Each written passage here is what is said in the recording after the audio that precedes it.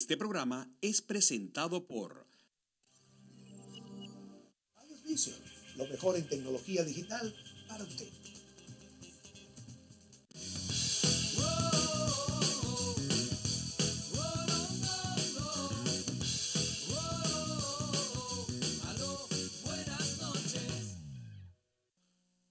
Vamos a activar un plan de emergencia y construcción de nuestra economía. Preparando los contenidos para en el marco del Plan Nacional de Recuperación Económica, que debemos asumir todas y todos, como un plan nacional, como un plan de todos, como un plan de toda la patria.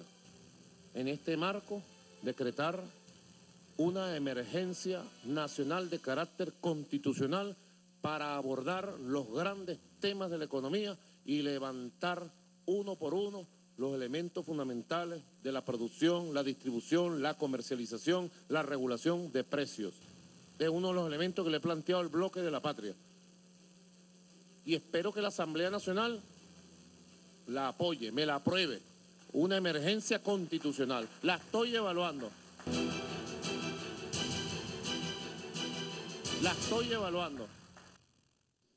Si este discurso, Angola, fuera el primer día de gobierno de Nicolás Maduro, yo fuera el primero que aplaudiera y le dijera a la Asamblea Nacional, va, evalúenla para aprobarla. Ellos siempre hablan como si estuvieran eh, tomando el poder Así. ese día. Y resulta que Como este si no desastre hubieran es el, es el 17 producto años. de 16, Claro. casi 17 años Exacto. de un modelo político y económico absurdo que ha arruinado al país. Pero que además ellos se han empeñado en hacer pública la expropiación, la toma de poderes, la, apertura de empresas en manos del Estado, porque se las han quitado a las manos privadas. Es decir, ellos se han encargado de decirnos que controlan todo el Estado, que controlan todo el dinero, que controlan el Banco Central de Venezuela, que controlaban hasta ahora la Asamblea Nacional para el otorgamiento de créditos. Es decir, está clarísimo para todos los venezolanos que la economía y su Estado depende del gobierno. Así es. Y son ellos los que convirtieron nuestra economía en una economía de importación y son ellos los que se han hecho millonarios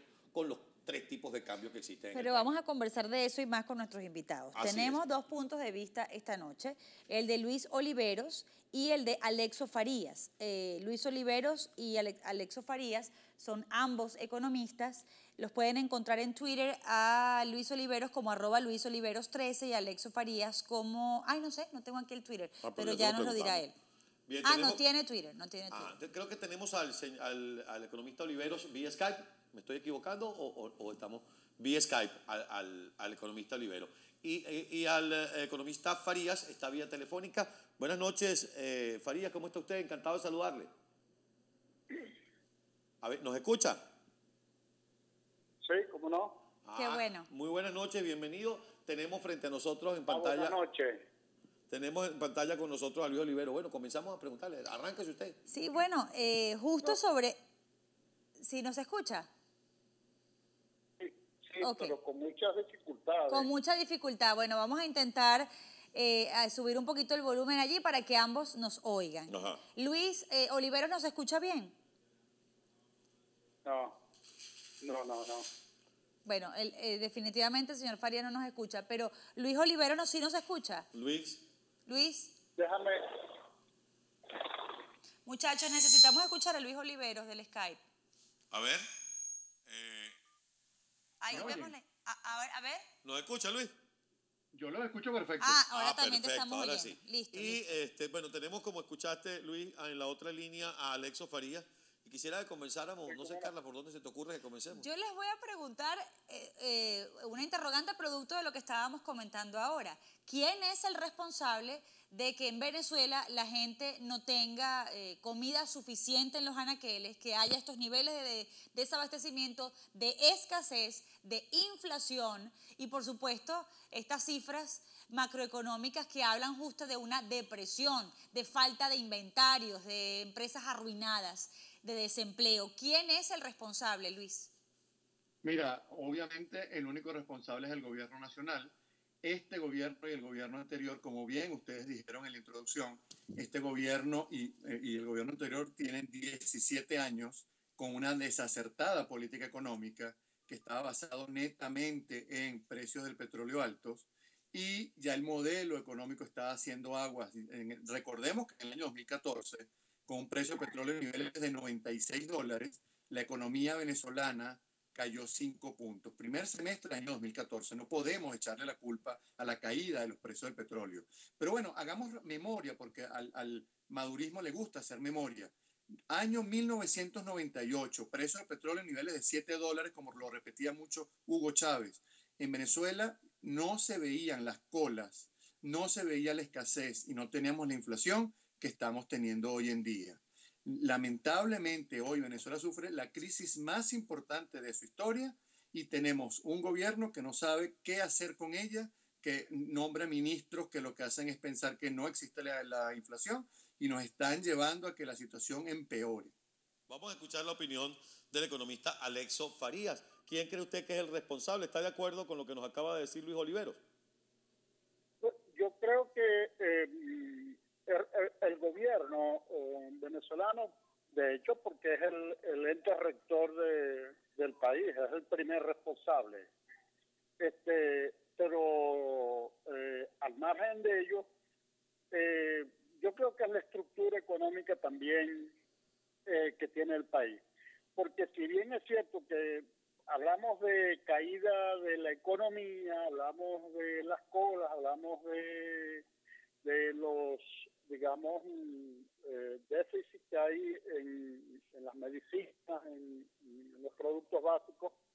Este, hay una cosa que de la que no se habla y es eh, la rentabilidad de, de los bancos, por ejemplo. ¿Entiendes? Entonces, una economía que está en crisis, pero la banca no está en crisis. Ahí hay algo que, es un problema de la estructura económica del país. Yo estoy de acuerdo con el, economista Olivero que eh, en verdad es responsable es el gobierno ah. eh, nacional porque es el, es el ente rector, pues es el que tiene que dirigir, es el que tiene que dirigir la política económica y, y, fundamentalmente el, que el, el presidente Maduro, que tiene que tomar unas, unas acciones de política económica y, y no lo está haciendo. Entonces, eh, el presidente tendrá que entender que o cambia el modelo, él, o se lo cambian o habrá que cambiar el gobierno porque estamos en una situación extremadamente grave. O sea, la gente no se imagina eh, la situación real de la economía venezolana. y hoy, eh, más con la caída de los precios del petróleo por debajo de los 25 dólares. Luis, Luis quería también escuchar eh, su punto de vista con respecto a lo que hay que hacer en este momento yo también estoy de acuerdo con el señor Faría en que el principal problema de este país, la principal tranca para que la economía no arranque es el gobierno. Porque si nos vamos a esa declaración de Giordani, quien ahora se dedica ¿no? a, criticar lo que está haciendo el gobierno de Maduro, pero él fue uno de los creadores justo de esta depresión, él dijo que al gobierno no le interesaba, a la revolución no le interesaba mejorar la vida de los venezolanos, porque así los pobres dependían de ellos, ¿no? Y podía eh, mantenerse todos estos años como lo han hecho a, punta de promesas que jamás se cumplieron. Pero, pero en, esta situación en la que la Asamblea Nacional ha alcanzado pues eh, una, una vocería mayoritariamente opositora, sentimos que hay la, la, obligación o también la intención de sentarse en una misma mesa a intentar que esta transición, mientras esté este poder, sea lo más beneficiosa para el pueblo de Venezuela. ¿Cuáles son sus recomendaciones? Bueno, mira, mira, Carla, lo que tú dices es, muy cierto, ¿no? E, en un país normal, en un país serio, los partidos políticos, y más si tenemos dos tendencias tan muy bien marcadas, se tienen que sentar a negociar, se tienen que sentar a conversar. Es un mundo civilizado. Aunque no se gusten, aunque se tengan cualquier cantidad de odios, se sientan a negociar. En Estados Unidos los republicanos y los demócratas se sientan todos los días a negociar y a pensar en el bienestar del país. Tú hablaste de algo que es clave en Venezuela, calidad de vida. Y no voy a hablar de Jordani porque de verdad hablar de Jordani no vale la pena. Él es el arquitecto de este desastre. Él era la mano derecha de Hugo Chávez y que fue el que generó este desastre junto con Hugo Chávez. Que después Maduro lo haya, haya maximizado el, el desastre, bueno, pero el originador es Chávez y Jordani. Entonces, ¿qué es lo que debería estar haciendo el gobierno? Primero que nada, llamar a un acuerdo nacional. Vamos a sentarnos a negociar. Obviamente sabemos que Nicolás Maduro iba a leer mal los resultados del 6 de diciembre, le iba a echar la culpa a todo el mundo, hasta los marcianos, a Bush, a Rubio, a, a, Trump, a todo el mundo le va a echar la culpa de lo que ocurrió. Él no está leyendo lo que realmente está pasando en Venezuela. Y mientras él sigue con los errores, hay niños que no tienen medicina para hacerse una quimioterapia, hay gente que muere por falta de medicina. Entonces, ¿qué debería ser gente seria que se preocupe por el venezolano? Sentarse a sentarse a, a entender qué es lo que está ocurriendo, sentarse a transar acuerdos con la otra parte que te acaba de ganar una elección y te dio una paliza, y entender, por ejemplo, que los controles no sirven para nada. El control de precios ha generado la inflación más grande de la historia de Venezuela y hoy es la inflación más alta de todo el mundo. Y el año 2016, si no se hace nada de calidad, vamos a tener una inflación superior a la del 2015. El control de cambio lo que ha hecho es un desastre como bien dijo Carlos, se ha enriquecido una élite, una casta, que la casta que está en el gobierno se ha enriquecido. Uh -huh. Y lo otro es, mira, vale, revisar qué está pasando en PDVSA, que PDVSA es nuestra principal empresa generadora de divisas. ¿Por qué PDVSA sigue regalando petróleo a otros países? Y revisar, por ejemplo, 800 empresas que tiene el Estado, muchas de las cuales están en déficit. Y en ese mismo, en ese mismo camino, tú tienes que ir hacia un orden fiscal, un orden monetario y resolverle los problemas a la gente. El tema de la inseguridad. ¿Cuántas personas están hoy en el sur de la Florida? Se fueron corriendo de Venezuela por el tema de la inseguridad. Sí. ¿Cuántos secuestros ocurren diariamente en Venezuela? ¿Cuántas personas matan? Lamentablemente, como tú bien lo dijiste, Carla, este gobierno no le interesa resolver los problemas de los venezolanos, no le interesa generar calidad de vida, lo que le interesa es mantenerse en el poder, le interesa la confrontación, le interesa seguir peleándose con la Asamblea Nacional, con todo el mundo, y así sigue comprando tiempo y sigue corriendo la arruga hasta que lleguen otras elecciones y así quiere llegar al 2019. Y lamentablemente los venezolanos vamos a ver como nuestra calidad de vida y como nuestras posibilidades de mejorar en Venezuela cada día van a ser menores. Luis, eh, eh, tenemos que ir a una pausa, pero quiero ah, dejarle una pregunta a Alexo, porque una vez que usted nos dice, Alexo Faría, que considera también que el responsable de lo que ocurre en Venezuela es el gobierno, quiere decir que usted descarta por completo que de verdad exista la llamada guerra económica, número uno. Número dos, las medidas que están por tomarse, mucha gente nos ha dicho que van a ser muy impopulares y que incluso eh, las tome el gobierno o las tome la oposición, van a ser medidas que a la gente no les va a gustar. Me gustaría su análisis al regreso de esta pausa. Tenemos a dos economistas, amigos, Luis Olivero y Alexo pero Farías. Me, pero Enseguida me regresamos. está oyendo un poquito más. Cuando regresemos, mi querido... Lo mejor en tecnología digital para usted.